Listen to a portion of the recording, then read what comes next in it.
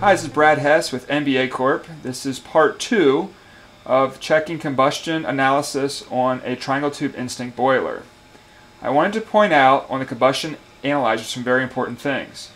First, we want to make sure that we have it on the correct fuel. This is propane. Next, we want to make sure that our O2 value before putting it in the flue passageway is 20.9%. This is very important because this is a calculated for the efficiency and for the values. So make sure that your O2 is 20.9 before putting it in.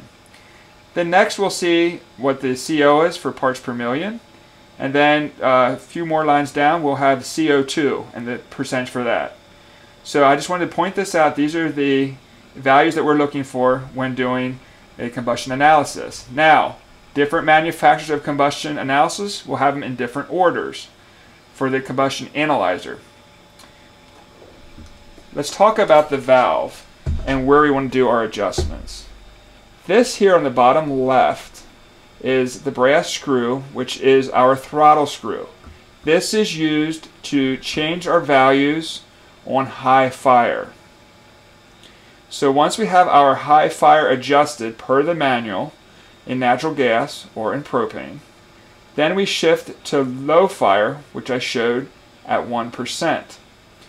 At 1%, if we still need to do adjustment, any adjustment on low fire is done through this, this right here, which is considered the offset. I want to make sure I warn you, when you do adjustments on offset, it is very, very minute.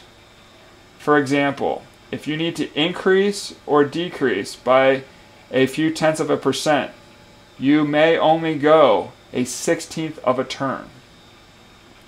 If you have to make adjustments to get your combustion in line on low fire, it's very important to go back to high fire and just to verify that you still have the same values. I hope this helped, and please be sure to check out our other videos we have on our uh, MBA YouTube channel for Triangle Tube and our other lines. Have a great day.